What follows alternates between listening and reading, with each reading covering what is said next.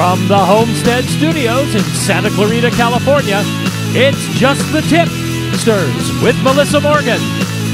If you've got a tip on anything you find interesting, an unsolved murder, a freaky real life mystery, the truth behind what really happened to the new Coca Cola, anything, tell us about it by leaving a voicemail message on the Tipster hotline at 832 Tipster.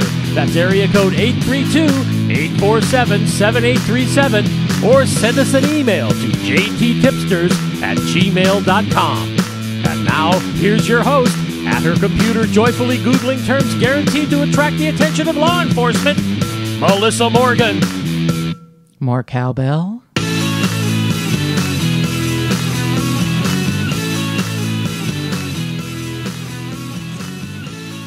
Look, officer, I was Googling skull rape because it's a site on how to perform oral sex better.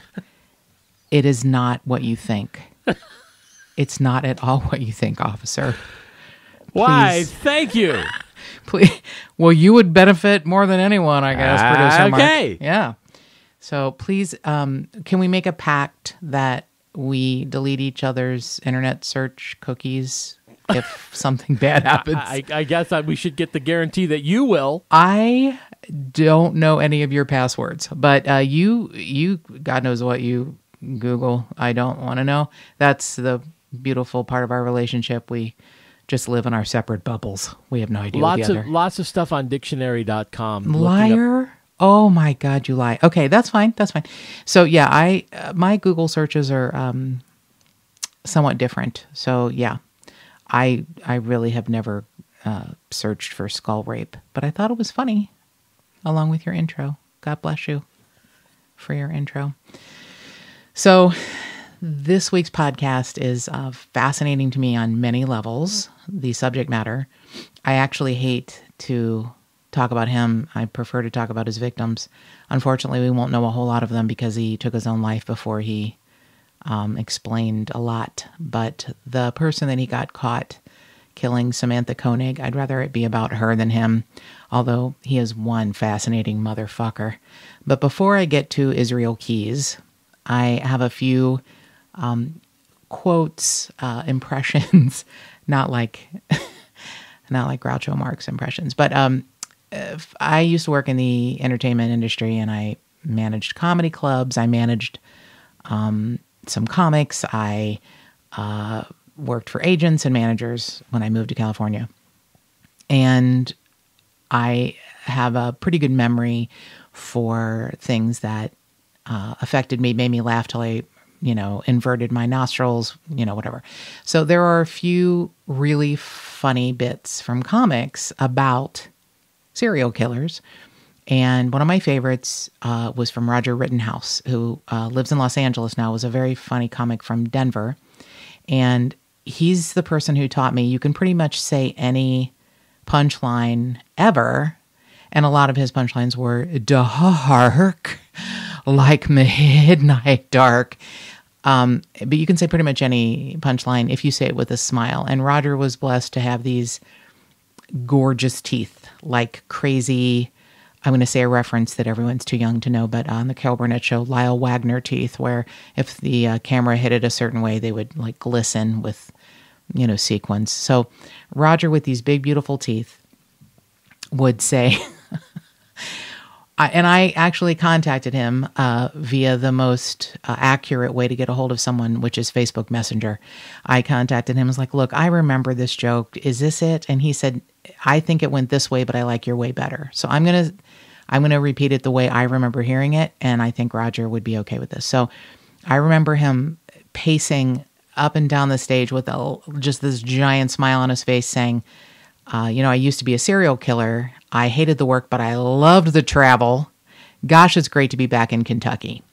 So that was what I remembered. And I remember another really funny joke about being able to hose um, your trunk out if you uh, potentially had a dead hooker in it. I don't remember the setup for that because I bet that would be hilarious. So the next thing is actually um, an audio tape uh, version of the punchline uh, sort of a long punchline. It's only about a minute long from Kyle Kinane, who is a Chicago comic who is the voice of Comedy Central. You hear him do all of their voiceovers for their commercials. Comedy Central um, on XM radio, Comedy Central on television. He's kind of the whole voice of Comedy Central and a remarkable, stellar comic. So in this bit, and it's awful and wonderful and unfortunately motherfucking true, he is discussing going on a walking tour in England of the sites that were supposedly the body dump areas for Jack the Ripper. So it's it's pretty stellar and pretty funny, and it will make you, I think, have some hometown pride and uh, nation pride. so, producer Mark, can you hit it? But then we get to the end of it. We get to the big finale, and he's got everybody gathered around. And this is this big climax moment of the tour, and he's got everybody there. And this is where he just sends it home. And he's got everybody goes, and it's believed that in total, Jack the Ripper may have killed up to five victims.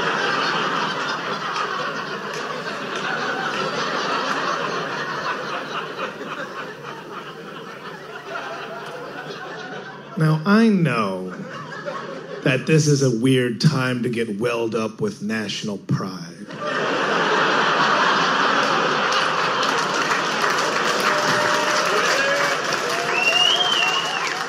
But I had to turn to my friend. I was like, did he say five? We've been rolling our ankles on cobblestone for three hours? For five? Paid 60 pounds. I don't even know how much that is in real money. For fucking five? And I got real USA. I was like, I'm from America, baby.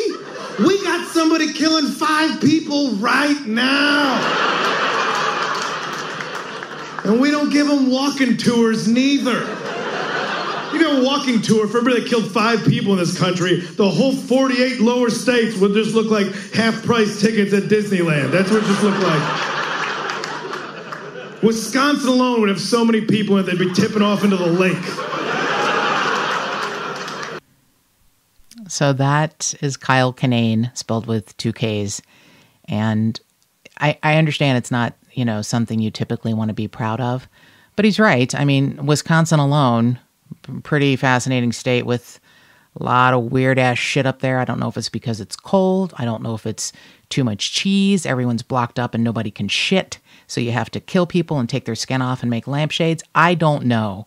But it's it's a really funny on the nose bit that's true. You know, they say it's funny because it's true. But so if there was a walking tour for Israel Keyes, we would have to do a um, a Forrest Gump walk across the country because this guy was different than most others. He wasn't just a serial killer. He was a serial killer, rapist, arsonist, burglar, and bank robber. I think most serial killers like to specialize in their chosen field of serial killing. Um, he liked to branch out. I think he thought of himself as a Renaissance man. And and later on, I'll read his um, poetic suicide note, and he is kind of a Renaissance man, an artist of uh, of horrible proportions. Let's just say that.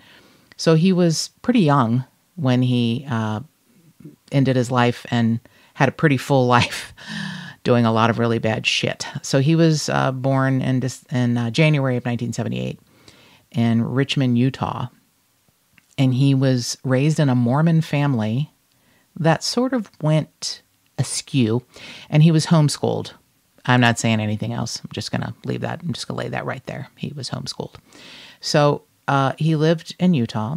Uh, his parents were devout, but I don't exactly know to what because they behaved unlike any Mormons I've ever heard of in my life. They they moved and joined uh, a different church that was uh, extremely anti-Semitic and racist, um, which every Mormon I know couldn't be further from that. So I don't know what uh, sect of Mormonism they um, they I think they left the Mormon church is my guess, but they were still very devout. And when Israel um, came out so to speak, as an atheist in his teens, um, they sort of kicked him out of the family. They would still speak to him, but he wasn't allowed to attend certain family functions, etc. So he had some issues in his teen years that nobody paid attention to. I'll address that later. Uh, torturing small animals, um, bullying neighbors, etc. So he joined the army, which I a lot of people do with this sort of proclivity, not just the army but armed forces. And I feel like they they need the structure. And maybe the structure helps them figure out what they want to do in their life, or maybe they just become better at what they are, which is a monster. And it seems like his three years, four years in the army made him a better monster. He did a small uh, stint in Egypt. He got uh, several decorations and awards Army Achievement Medal, Army Service Ribbon, Marksman Badge, Expert Infantry Badge, Air Assault Badge, all these wonderful, you know, awards, prizes, decorations handed to him. And he was really excited that his tour was coming to an end because he couldn't wait to get out there and start killing people. Now that's interesting. He he let that piece of information go in over 40 hours of taped interview with uh, local police and the FBI after he was finally caught. So he said he said I couldn't wait to get out of the army so I could go start killing people? Yes, sir. Oh my. Okay. Yeah, there there are other people who have posited the theory, what if we took all the serial killers and put them in uniforms and sent them wherever we wanted them to go and, you know, start killing Osama bin Laden's? It's an interesting theory, but I'm not sure that they would most serial killers have a, a real control freak tendency. Yeah, I don't think they follow orders. Very Yeah, well. I was gonna say I'm not sure they would. It's like kill that guy. No, I don't like him. I want this one. Yeah, So- I think Sarge might end up sliced and diced. uh, yeah. Yeah, I mean, he was like, I couldn't wait for my tour to end. Couldn't wait to get out. I just wanted to get out there and start killing people. Uh huh. So he is interesting in the fact that he assimilated pretty easily. There, everyone always says, you know, I had no idea he was a sweet neighbor, quiet, kept to himself. There's always signs. There's definitely signs, which we will talk about later. But he moved to Alaska. He started a business. I mean, I know, uh, you know, Phi Beta Kappas who can't fucking tie their shoes. And here's a guy who eh, his main goal in life is how many people can I kill and how can I do this? And, and so much thought and planning. He really could have been a captain of industry. I'm not saying anything else. Um, but he, you know, started this this construction company. He did handyman stuff. He was a contractor, and by every client's account, he was get this meticulous, patient, uh, amenable. I mean, there was not. I mean, I guess if you did Yelp reviews for, you know, uh, Anchorage, Alaska contractors, Israel Keyes number one in the Yelp reviews. Now, if you did Yelp reviews for horrible, shitty monster serial killers, well, he might also be number one. I hadn't really thought of it that way. I think I'm just going to try and keep Yelp out of this. So, his time in the army, a couple of people noticed strange things. Uh, one of his um, bunk mates, I don't know what you call them, roomie, said that he, you know, stayed to himself. Shocker. But on the weekends, he would drink heavily. He would consume entire bottles of his favorite drink, which was wild turkey bourbon. And That it, I don't know if you know that that that's that was Hunter Thompson's uh, poison. That stuff ain't uh, lightweight. it's ru- rubbing alcohol, I'm guessing. Close. Close to rubbing alcohol or Tastes sterno. a little better apparently. I've little never bit- tried it myself, but a little better than Sterno.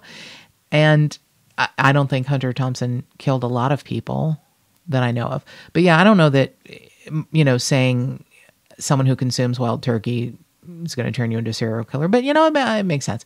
Here's the thing that I think might uh, be a clue that he could have eventually become a serial killer.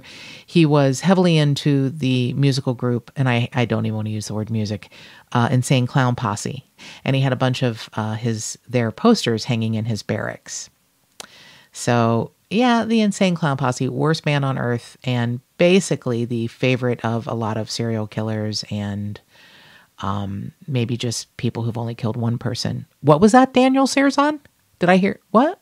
Insane Clown Posse? Why, yes. So anyway, Mr. Deep- Keyes. deep breath, Sorry, huh? I know. Yeah. I, just- I, I, I don't know. I'll, I'll never get over it. So, um, lived in Anchorage, successful businessman, frighteningly so. Had a girlfriend, and this is the really sad part. And I hope she is being protected. It sounds like she is because I see nothing about her in any sort of uh, journalism at all. Um, he has a daughter.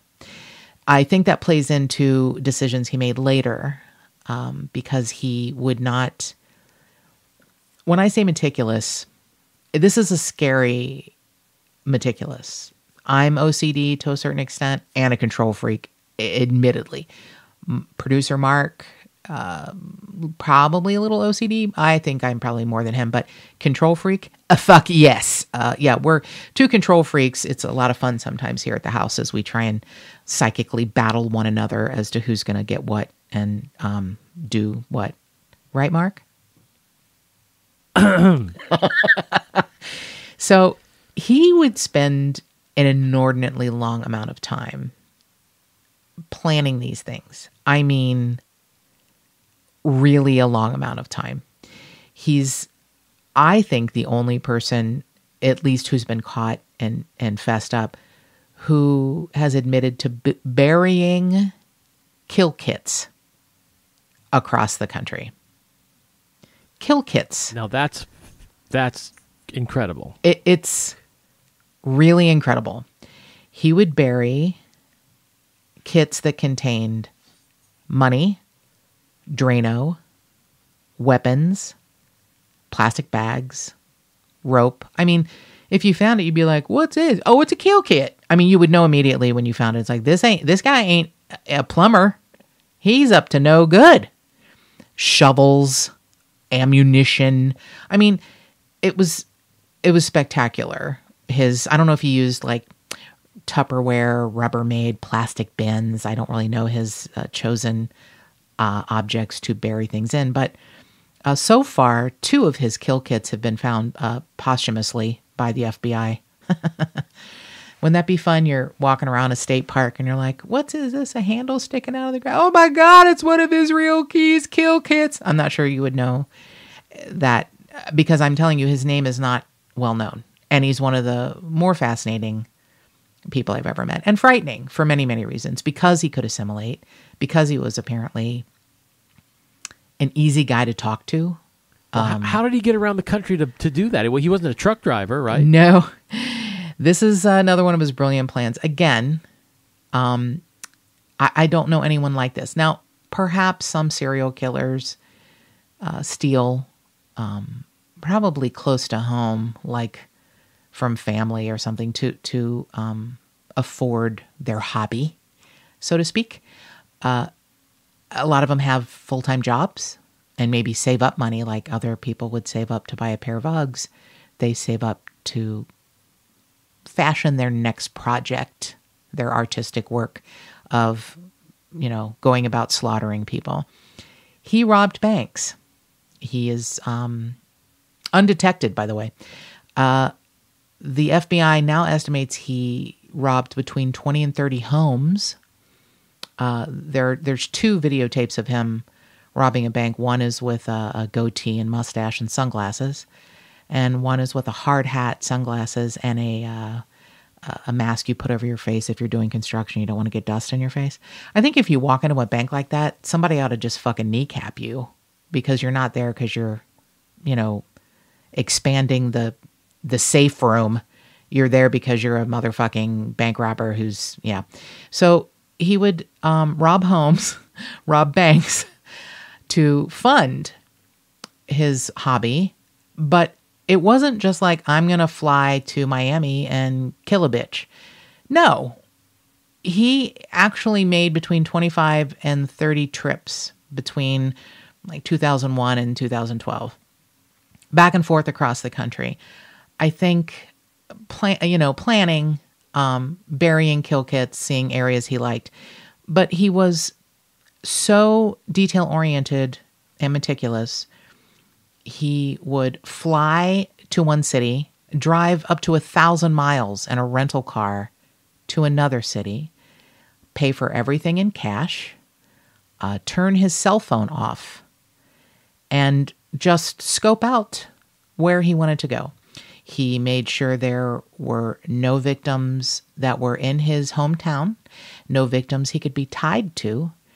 And the way he got caught was he broke his own rule, which was never take them to your home or your car.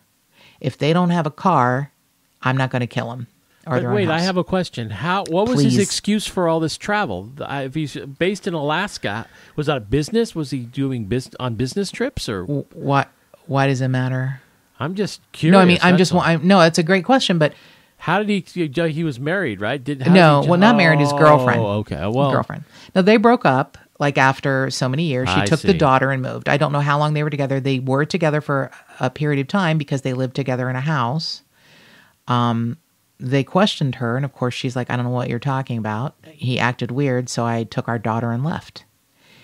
But one of his rules, and I believe, i- no matter what has happened, and he's gone and left a very um, uninformational suicide letter. He wouldn't. He had rules. He wouldn't go to a house with um, a dog or a bikes or toys in the yard. And an FBI profiler feels that he wouldn't go to a house with a kid because he had his own daughter. He never expressed remorse for what he did, but did express offhandedly to FBI, you know, uh, I there's certain things I don't want you to release because I don't want my mother to have a heart attack. So I I think he had some sort of something in him, um, like most control freaks do, a fear of being embarrassed. It's come out now that he not only would rape um, women, he probably raped men. They think that his early religious upbringing, he was also a necrophiliac, which he admitted freely. He did not admit to raping men, but but did admit to being a necrophiliac because they feel his religious upbringing. Once again, the religion has helped fashion a just a fascinating piece of shit. Um, he thought people would be uh, horrified. Not that he killed people, but that he, you know, stuck his dick in some guy's ass. That's just great. So you can fuck a dead person, you can kill and fuck a dead person, but you, you know, the fact that you might be gay, that, you know, gee, even though he professed to being an atheist. So he admitted to a murder of two people after he was caught for the one murder that they could actually pin on him. One. He violated his own rules. He was just going to rob this coffee kiosk. I guess there are a, a whole shitload of coffee kiosks in uh, in Anchorage, Alaska, because it's cold and people want warm coffee. So this beautiful 18 year old girl, Samantha Koenig, is working in March of 2012, and um, she no, sorry, February of 2012. February of 2012, she is working at her coffee kiosk job early in the morning.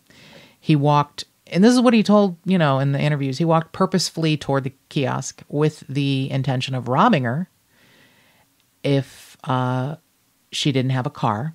And if she didn't have a car, he would kidnap her and rape her and kill her. So, what he did to her, I think you can see his spiraling downward. And perhaps the fact that his girlfriend left with their daughter, maybe that was the stressor. I don't know. But he, he kind of admits that he, um, his ego got in the way and he violated his own rules. So he goes up to the coffee kiosk. It's actually on video. He was ignorant. It was one of his rental cars. He was ignorant and that he is basically shown on a lot of closed caption television in this instance. Went up in his hometown uh, in Anchorage, went up to her coffee kiosk.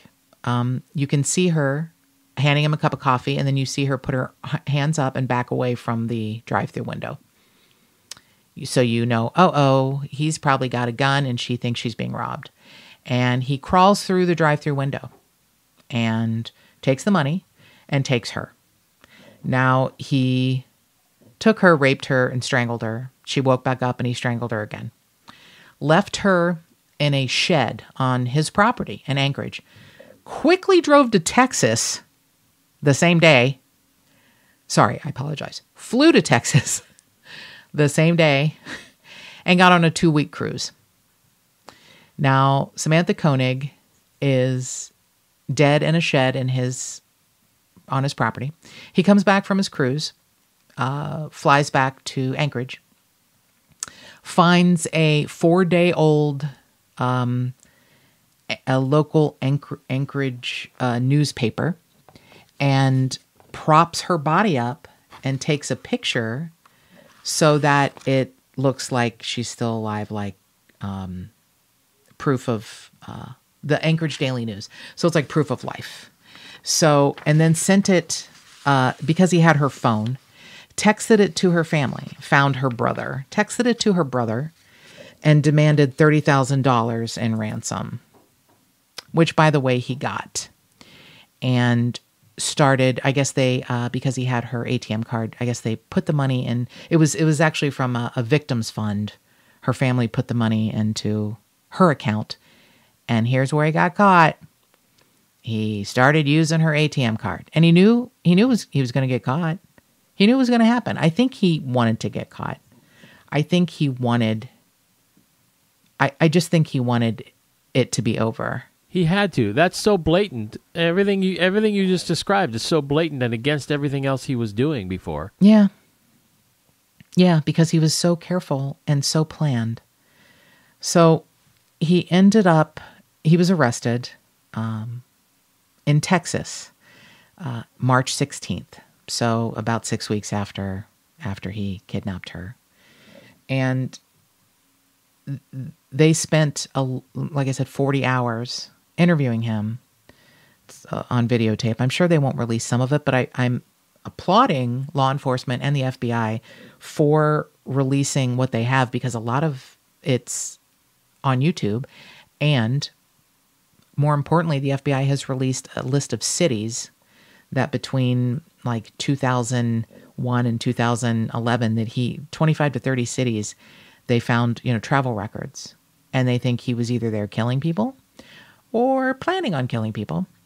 The thing that's horrifying is that when he was uh, arrested, um, using her ATM card in in Texas, he had a list of places to go, and one of them was California. And this is, you know, they they a lot of stories compare him to Ted Bundy. And everyone was always like, "Oh, Ted Bundy was handsome and charming," and I'm like, "Yeah, no. I mean, he obviously extremely intelligent, and I think he was studying to be a lawyer. I mean, he was, you know, Ted Bundy really smart. A lot of serial killers really smart. Doesn't really, yeah, that's fine. Ted Bundy looked like someone had set face his face on fire and put it out with a rake. He had the worst skin I've ever seen in my life. He had piercing eyes. I, I don't. I never thought Ted Bundy was attractive. I don't get it at all. I will be honest with you. Israel Keyes, kind of attractive, disturbing, horrifying to say it, and you can see almost a de-evolution. When he has somewhat longer hair, he has a more open face and he has almost a slight smirk and it's um it's a booking photo and I don't know for what, but probably something very small since he didn't really, you know, get caught doing the big shit till later. But his actual mugshot from being arrested for killing Samantha Koenig, his eyes are dark in a way that you just have to see the picture. His hair is short, his lips are pursed, his eyes are dark. There's a definite difference. And the thing that makes him more fascinating to me, besides all of this interesting shit that he did to prepare for his art, is his suicide note because he mentions a soul. And I don't know if that's just remnants of his religious upbringing or if he believes we have a soul, if he believes he has a soul or had a soul. I don't know. But he did mention in his interviews that he was very fascinated by Ted Bundy, but really adamant that his ideas were his own, his own, and he never copied off of anyone. His and I do have to say it's pretty original and unique. I don't. There may be other serial killers we don't know about who who have shit stashed places, but his so methodical, bizarrely funded with robberies, so well done, and wanting to have no ties to his victims. He said, you know, you don't you don't have your pick sometimes, but when you do get, you know, your you do get to do your job, your work as a serial killer, it's exhilarating. So a lot of serial killers have a type, and you can see it with the victims lined up. He didn't have a type because he didn't want to get caught. But he said that he really fucked up with Samantha Koenig because it was just going to rob her, but the compulsion to kill her overtook him. And that's where he fucked up. And he fucked up bad, but still not enough to not be caught for quite a while, keeping her in a frozen shed so she didn't look like she was decomposing. So the other two people that he's actually linked to, uh, never going to find their bodies. Stroke of luck. And this is the thing that horrifies me and makes me worry so much about missing people like Will Sarazan. We don't know where Will is. Is he missing? Is he deceased? Most probably. And ways to get rid of people more difficult and yet maybe more easy than we can imagine. So, two years before he kills this wonderful couple in Vermont, um, he the Curriers, he flies to Chicago. He rents a car and drives a thousand miles to Vermont. And he had buried a kill kit there two years earlier. He scopes out the place for three days. He does what he calls a blitz attack. And he looks for houses with attached garages. I don't get. I, I don't understand really the dog thing unless he just doesn't want to um, mess with a dog. Maybe he thinks a dog would hurt him, or maybe I, I think it's that he didn't want to kill a dog, but I don't know. He killed, you know, small animals, but he wouldn't enter a home with a kid because his daughter. So, Bill and Lorraine Currier, wonderful, simple couple at home asleep. He has never met them, he doesn't know them. Um, he was staying a half a mile from their house, and their house looks pretty desolate, but he was staying at a like Homewood Suites or something, like a half a mile from their house. He uh, took a fan out of a window in the garage, came in through the garage, wore a headlamp to light the way in the dark, and blitzed attacked them. He really fucked up here because both of them uh, managed to get away, but they were both caught by him. It was really heartbreaking. And these are two big, pretty, pretty big people. He doesn't look like a big man, but I think that's another thing that serial killers enjoy is the control, having control over someone. So Bill and Lorraine Currier are asleep at night. He attacks them takes them to an abandoned farmhouse that he had scoped out the day before. He rapes and strangles. Well, sorry. He rapes Lorraine, ties her up with restraints. He goes over maybe to rape Bill, who is a, a big man, by the way. And Lorraine gets out of her restraints and runs toward the road. He recaptures her, brings her back, ties her up, rapes her, and strangles her. In the meantime, Bill gets out of his restraints and is screaming, Where's my wife? Where's my wife? And he shoots Bill because I guess he has to take him down faster because Bill is a pretty tall, big man and he may not be able to control the situation. He puts them in plastic bags and leaves them in the abandoned barn. Abandoned barn and leaves town. And the abandoned barn two years later is demolished. Demolished.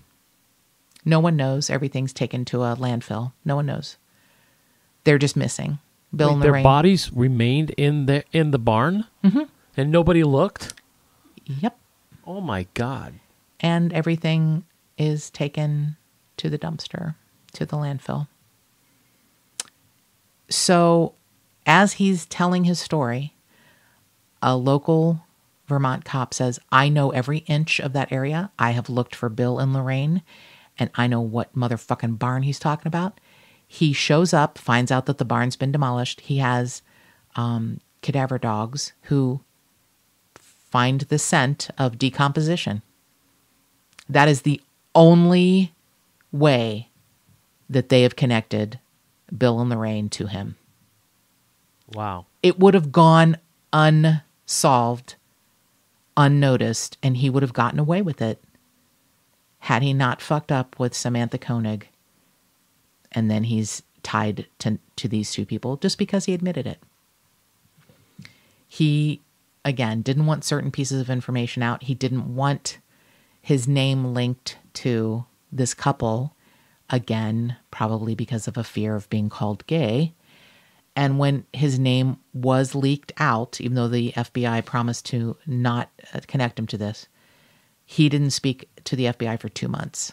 He wouldn't talk for two months because he didn't want pieces of information out. And he is a control freak. He was a control freak. So he admitted to killing under 12. they think he killed between 8 and 11 people. He admitted to killing a woman in New Jersey and burying her in upstate New York.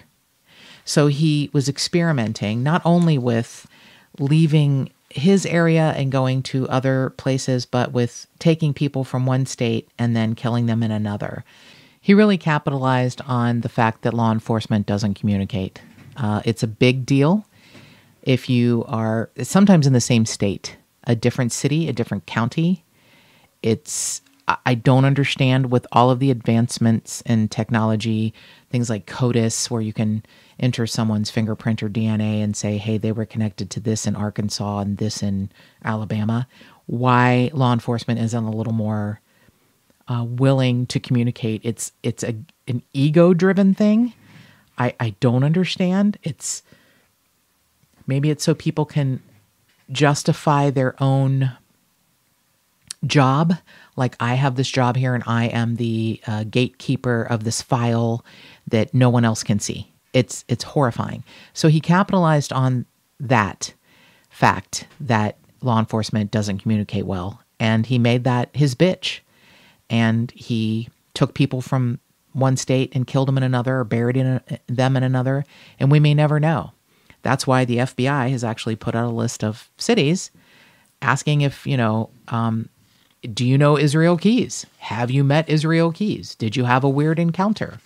Is uh, someone missing from your family? I mean, it's it's hor- between these years and these states and these cities. It's it's horrifying and fascinating and awful and bizarre. And he really just spiraled down until he if he had kept to his own rules I don't know that we would ever know. He he may have gone to his grave with all of his gross, nasty secrets, but he didn't, and he, well, he did sort of. Yeah, there's still a lot of kill kits buried. Uh, well, the the FBI has found two of. I think he said between five and eight that he had buried across the country. So the FBI has found two of his kill kits. Um, the head of the uh, lieutenant for the Anchorage Police Department said everything that he has told them has borne borne out. Everything he said that he did, not naming names, wouldn't name names of victims. I, he may know them, he may not. He probably knew them because he was he would fly back home immediately, leave town immediately after killing someone. So he wasn't even in town, and look up, uh, you know, the case on the internet. So he was fascinated to to watch the cases. So he said that you know he didn't know the names of you know like let's say the couple in Vermont that the Curriers that he killed. Um, so he said he didn't know the names of these people, but you know he he may have, but he wouldn't tell them. He wouldn't tell them anything. So this um, wonderful profiler uh, Monique Dahl interviewed him and said that his motivation was really the enjoyment of doing his work. He was unapologetic, he had no remorse. And Monique Dahl said Israel Keyes didn't kidnap and kill people because he was crazy. He didn't kidnap and kill people because his deity told him to, or because he had a bad childhood. Israel Keyes did this because he got an immense amount of enjoyment out of it, much like an addict gets an immense amount of enjoyment out of drugs.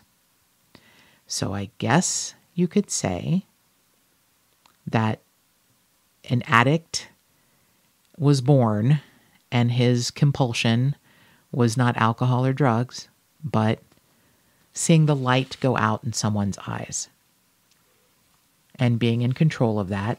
As uh, another amazing comic says, Norm Macdonald, that thing that makes me feel like God. You go and do the thing that makes you feel like God. And his really, really funny bit about um, seeing someone named Janice who's missing and an, you know, imaginary person named Janice. But it's pretty funny and pretty stellar. And I think he's got his finger on the pulse as far as what control freaky serial killers must think. So on December 1st of 2012, he was going to um, be indicted for basically just the murder of Samantha Koenig, but they were going to add the Curriers in. That's the only ones they could really tie to him. He was moved from the suicide watch, which he had he had attempted to escape several times. He wanted to be uh, suicide by cop. He wanted to be taken out. He even said, "I'll tell you this information. I'll tell you where everything is if you will let me pretend to escape and then kill me." And uh, the police were like, "Yeah, no, that, that doesn't work that way. We don't we don't just do the what you want sanctioned suicide. I don't know that that would be a bad policy, but I, there's probably a lot of logistics and legal stuff involved. You'd have to have him sign a waiver. I don't know. Anyway, but he had tried to escape during a court appearance and was tased. Don't tase me, bro. And he was tased and brought back to a cell. So he was in a suicide watch cell. He said he would give them more information if they moved him back to a like double secret probation uh, ward where they were watched pretty heavily. They had a LED light that was in their cells, and he killed himself. There were several missteps. Uh, the guard on duty took a you know sanctioned dinner break, and before he left, it's all on you know video. Israel Keyes is seen sort of moving around his cell, straightening stuff he was given a razor uh, by another guard completely erroneously. He should never have been given a razor. So he had a razor, and I guess he probably tore some clothing. He got into his bed at 10, 12, 12 minutes after 10 p.m., put his cover over his head, as he did apparently every night. And there was a little bit of movement. And then at 1224 there was a sudden jerk and then it was stillness so he sliced his own wrists and hung himself sliced the, his wrist with uh, the razor and hung himself on the uh, post of the bed so he wasn't found till the next morning um, the room is dark like i said his cell is dark so the dripping and the pooling of his blood under his bunk wasn't noticed because it is very dark and because the video, according to the guards, are black and white. You really can't see what's happening. So that guard was fired. He actually fought for his job back, had an attorney. Um, it, it wasn't strictly his fault. I mean, it really wasn't his fault, but that's neither here nor there. So I have a, an edited version of his suicide letter, which I want to read the FBI went to great lengths to preserve it because it was under his body and covered in blood.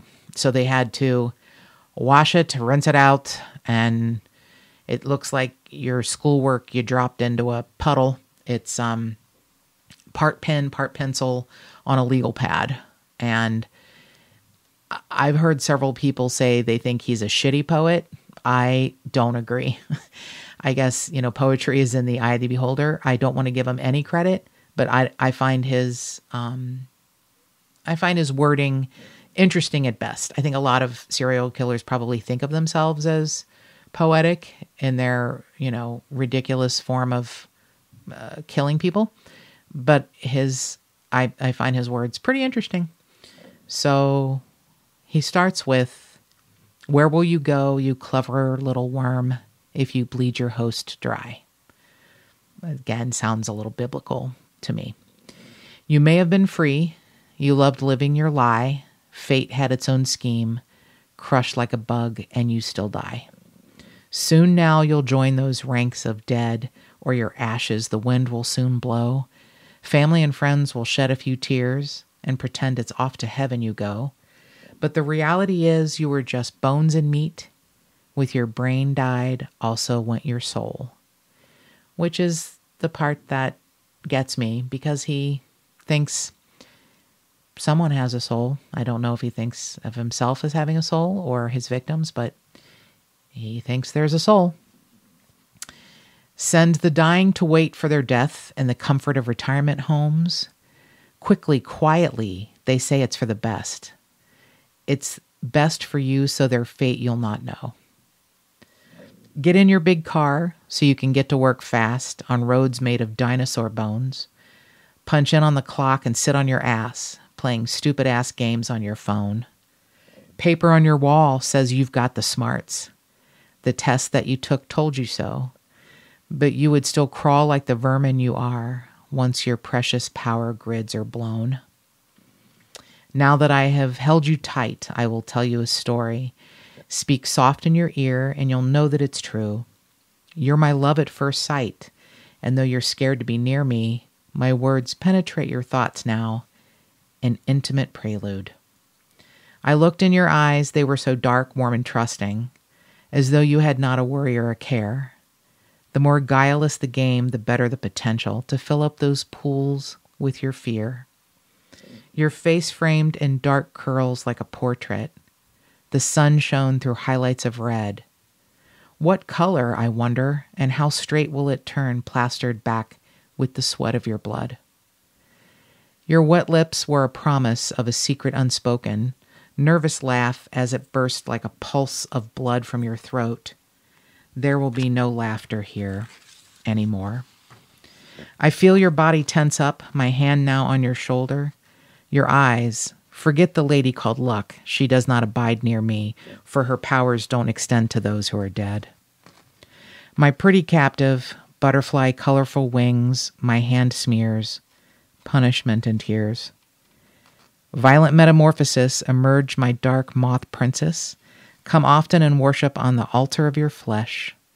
You shudder and try to shrink from me. I'll have you tied down and begging to become my sweetie. Okay, talk is over. Words are placid and weak. Back it with action, or it all comes off cheap. Watch close while I work now. Feel the electric shock of my touch. Open your trembling flower, or your petals I will crush. So I want to say there are always signs. There were signs. The people in his life knew he was weird. Everyone from his family to his army buddies to his girlfriend, baby mama. It's the things that alert you, that you sweep in the back of the closet of your head, and the things that make your skin crawl, the things you know aren't right, and you don't know what to do about them, they might mean something really big later on. If you know of a young person who tortures animals, if you know of a young person that starts fires, that's another clue. And it sounds trite, but I'm going to say it. If you see something, say something. If you know something, say something. If you're wrong, you're wrong. If you're right, you might save a whole lot of lives later on. And more cowbell.